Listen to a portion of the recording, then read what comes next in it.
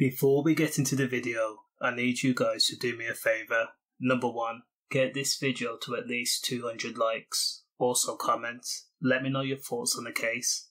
43 year old Nana Oppong, who's also known in the streets as Enz, and who was known to be involved in multiple M's dating way back to the 90s, has finally been extradited from Morocco, where he went into hiding after allegedly down Dutch manager Fox, LOM, eight times with a 9mm pistol outside a party in Water Lane, Roydon, Harlow in June of 2020. Nana Oppong and Fox, real name Robert Powell, were known to each other, and it's not an understatement to say that these two guys were not friends. They had an intense history.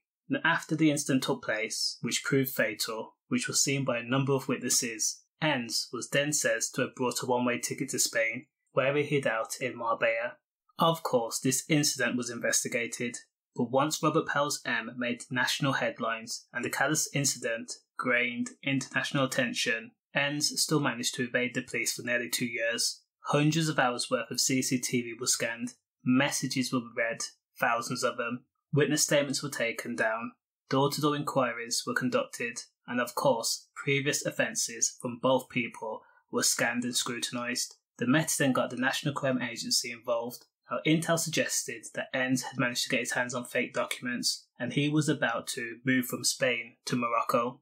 So in September of 2022, Enz was then arrested trying to enter Morocco with fake passport via Tangier port.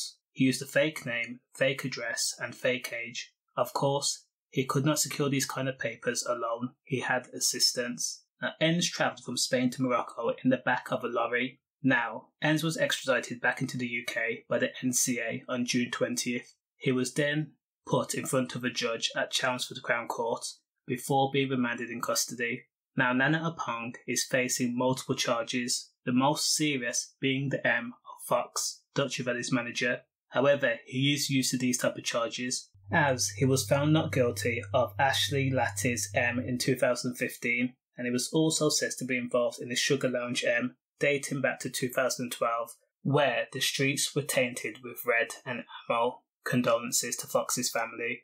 Stay safe, safe.